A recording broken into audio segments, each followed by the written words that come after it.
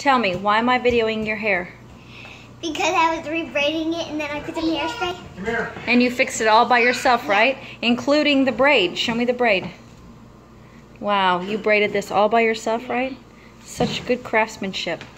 I'm very proud of you. It looks absolutely gorgeous. It's got a tiny little bump right here, but I think it'll be okay.